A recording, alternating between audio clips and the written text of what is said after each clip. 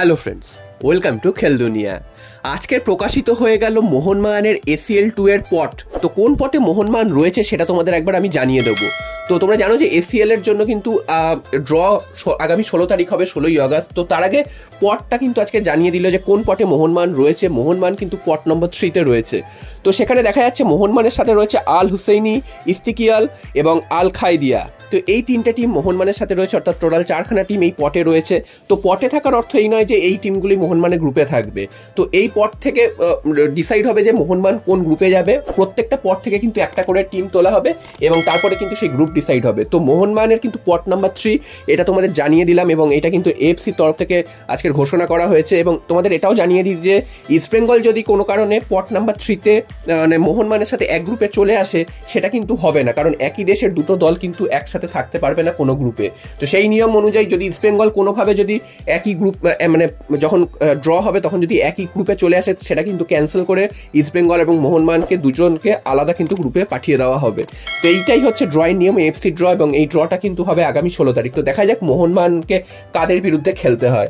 এরপর চলে আসি ট্রান্সফার আপডেটে তো ট্রান্সফার আপডেটে মোটামুটি মোহনমান সমস্ত ট্রান্সফারই করে নিয়েছে। তো একটাই ট্রান্সফার এই মুহূর্তে যেটা বাকি রয়েছে সেটা হচ্ছে কেরালার সাথে একটা সোয়াপ ডিল হওয়ার সম্ভাবনা রয়েছে এবং কেরালা থেকে মোহনবানের প্রীতম কোটালের একটা আসার সম্ভাবনা রয়েছে। তো প্রীতম কোটালকে নিয়ে কিন্তু বেশ কয়েকদিন ধরে এই খবরটা বেরিয়ে আসছে এবং কার সাথে সোয়াপ ডিল হবে সেটা কিন্তু মোহনমান এবং কেরালার মধ্যে একটা নেগোসিয়েশন চলছে।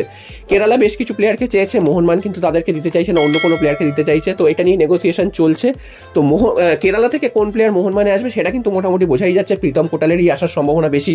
তবে আজকে যেটা জানা যাচ্ছে, প্রীতম কোটাল কিন্তু ডুরান্ডে স্কোয়াডে কেরালা ব্লাস্টার্সের ডুরান্ডে স্কোয়াডে তিনি কিন্তু যোগদান করেছেন। তো তিনি যোগদান করেছেন, তিনি হয়তো ম্যাচেও খেলবেন, তবে তার মানে এই নয় যে প্রীতম কোটালের আসার সম্ভাবনা কিন্তু আর নেই। তো প্রীতম কোটালের সাথে মোহনমান এখনও কথাবার্তা চালিয়ে যাচ্ছে এবং কেরালার সাথেও ডিলটা নিয়ে কিন্তু কথাবার্তা চালিয়ে যাচ্ছে।